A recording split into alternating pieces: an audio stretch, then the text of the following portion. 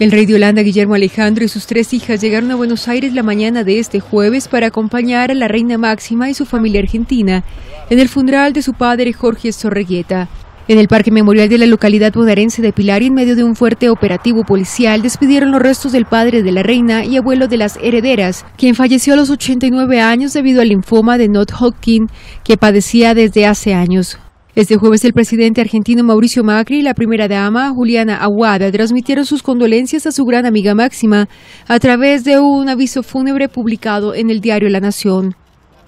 Sorreguieta ocupó varios cargos en organizaciones empresariales, fue miembro activo de la Sociedad Rural Argentina y posteriormente subsecretario y secretario de Agricultura entre 1976 y 1981. Ese cargo que ocupó durante la última dictadura militar argentina le impidió asistir a la boda de su hija máxima con el entonces príncipe Guillermo de Holanda en 2002 y años después a su coronación como reina en 2013. También fue miembro del Consejo de Políticas Internacionales para la Agricultura, la Alimentación y el Comercio y en 2008 se desempeñó como presidente del Centro Azucarero Argentino y de la Coordinadora de la Industria de Productos Alimenticios.